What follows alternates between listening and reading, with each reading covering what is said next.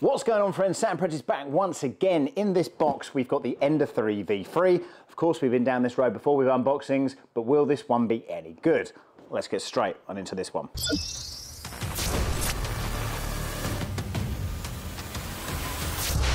You are watching a master at work. The Creality Ender 3 V3, amidst the trio of recently released Ender 3 models, stands out as a potential apex in the lineup. In a lineup that includes the budget-friendly SE and the Klipper-based KE, the V3 earns its name without any specific suffix, but carries the promise of being the best Ender 3 to date. As we delve into this iteration, it becomes apparent that Creality has focused on refining and optimizing various aspects of the printer. From improved build quality to enhanced features, the Ender 3 V3 seems poised to offer an unparalleled 3D printing experience. As enthusiasts explore its capabilities, it becomes clear that this model embodies the evolution of the Ender 3 series, presenting a compelling option for both newcomers and seasoned users alike. This Ender 3, unlike any of its predecessors, is a Core XZ belted motion system. Some of you might be familiar with the very popular Core XY designs that you have seen recently on printers like Bambu Labs P1P and X1 Carbon, along with the Creality flagship model, the K1 and the K1 Max.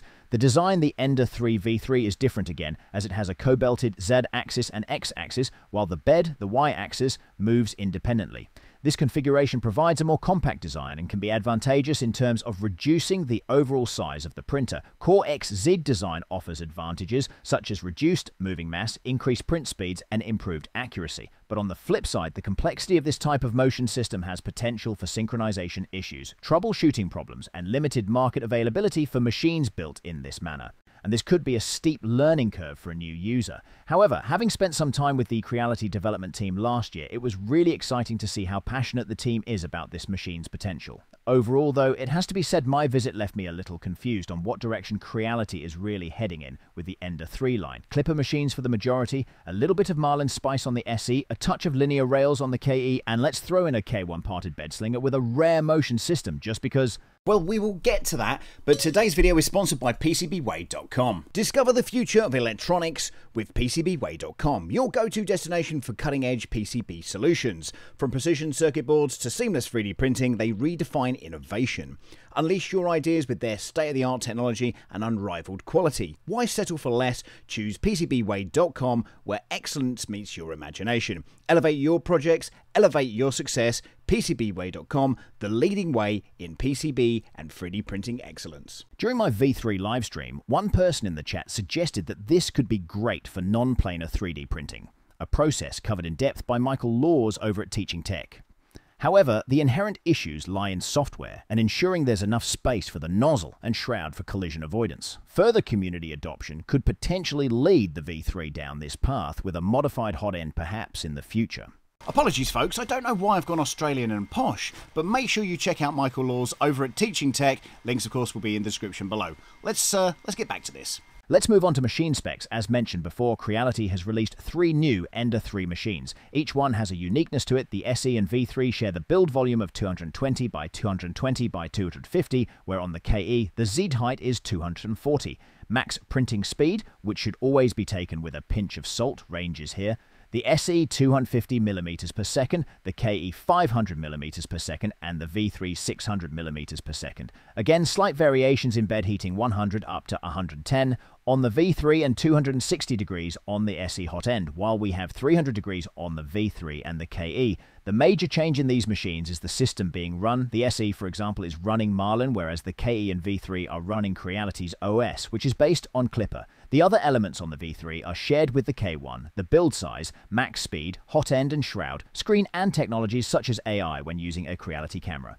The enclosed path with the K1 might be better overall, especially when printing exotic materials that require venting and enclosed spaces. One more key difference is in the acceleration speed. The K1, for example, is 20,000 millimeters per second, the V3 is 10,000, KE 8000, and SE 2500. The higher the speed typically will result in a lower print time, and again will be material specific.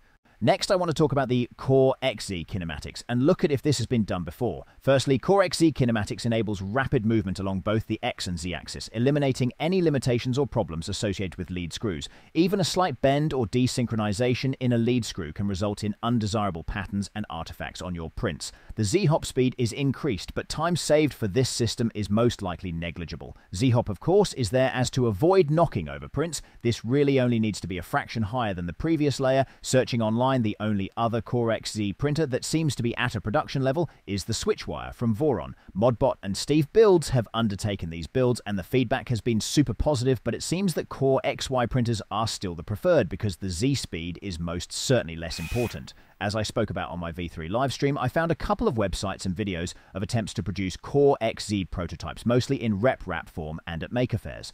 Over at corexz.com, there is a website outlining the principle of operation, references, and links, which unfortunately are mostly dead links now. There are a few people that have worked on this system as a project. One that I found had metal wire assisting in the movement process, where others went for the belted versions. Each of these appear to have great potential, but for the most part at that time, perhaps the software just wasn't developed enough to make a solid impact.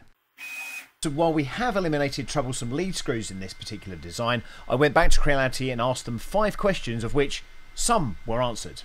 So the first question is, what makes Core XZ a preferable choice? They said, Making the Ender 3 line faster, more precise, and more reliable. Adding to the lineup with improvements on the X and Z axis, again delivering on quality 3D printing.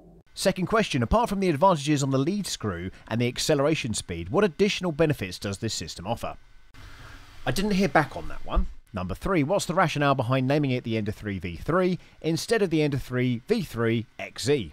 Creality believes the successor of the Ender 3 series is released and follows the path for open source, the structure and software. Number four, can we consider this to be the ultimate version of the Ender 3, especially considering the previous releases like the SE and the KE? Creality has been committed to industry innovation, avoiding product homogenization, and providing users with a better experience.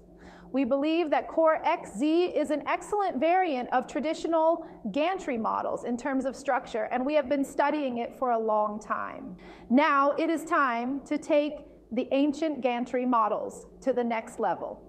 So my other question was very much around the marketing strategy around the Core XZ. Again, this seems to be the first production printer of its kind outside of the Voron Switchwire. Um, and well, I didn't really get an answer on that either, but it certainly seems like this is going to be the ultimate version of the Ender 3.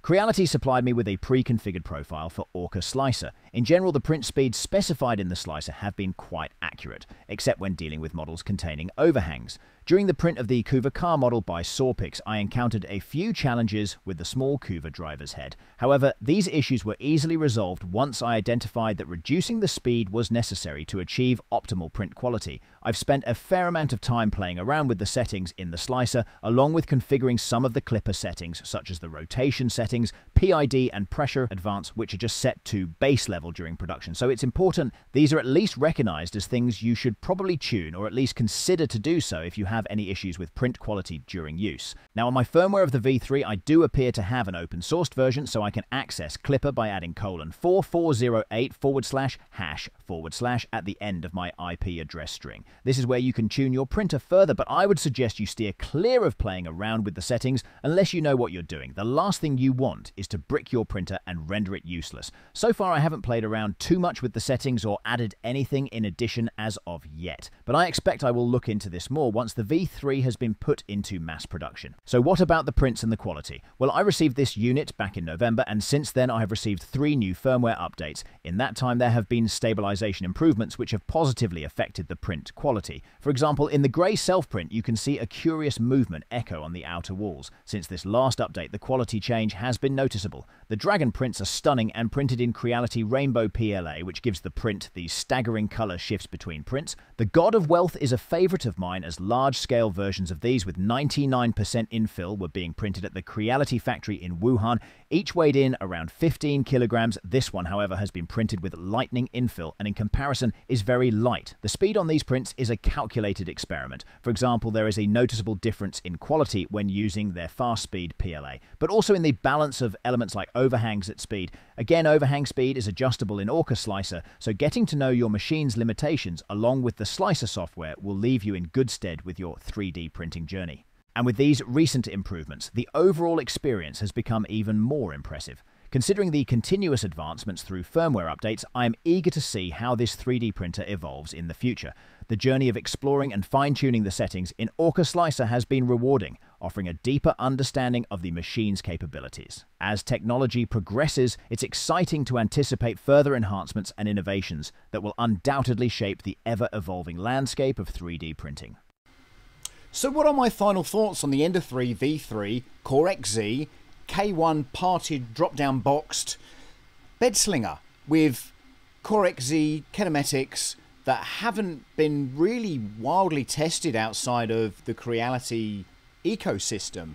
Well, it's an interesting one because the printer performs incredibly well and the experience actually has been pretty damn good. I can't really say that there's actually any kind of major issues that haven't been fixed either by working inside of Orca Slicer or working with the firmware that's been provided to me. Again, it is a smart technology 3D printer, so by the time you've added a camera or you've added other elements to it, it's online, it's land based. Again, you can use Creality Cloud to send your print files to it. The connectability is very good and the designers behind it are absolutely fantastic people. So there is really isn't anything that you should not like.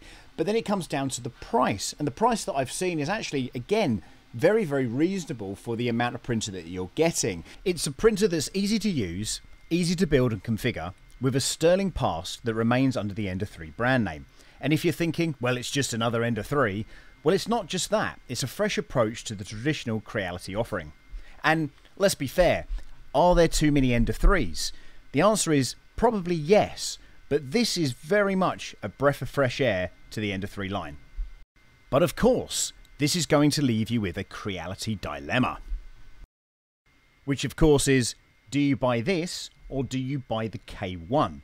Or do you buy the recently announced K1C. Again, there's so many printers that are available out there in the marketplace right now. Let me know in the comments what your go-to printer is and if you're going to buy the Ender 3 V3. We'll see you next time. Thank you once again to Creality. Thank you once again to PCBWay, and we will see you next time.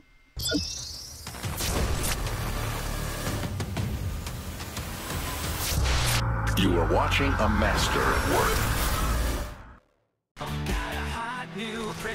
Michael Laws. Michael Laws. Things come out. His hand? This is it, yeah? Where's the arm? Ah.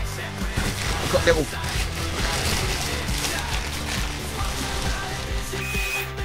Channel is sponsored by. Do have some snips here.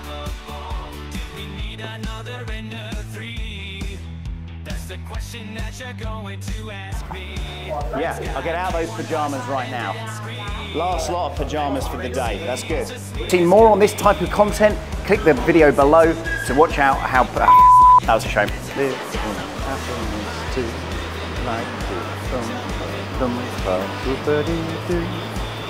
So the problem we've got here is they don't have Western sizes. So, oh, here we go. We do. We might have a Western size. Here we go. So I've got to put these pajamas on now.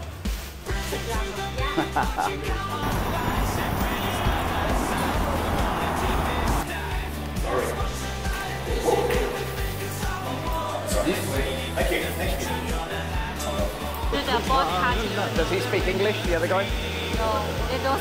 Okay, okay. So the first part here, of course, is health and safety, and there's nothing more safe than putting on a pair of these little shoes. So pop those on first of all. Look at those, they're very fetching. So I'm at PCBWay at the SMC assembly line. It's pretty damn awesome.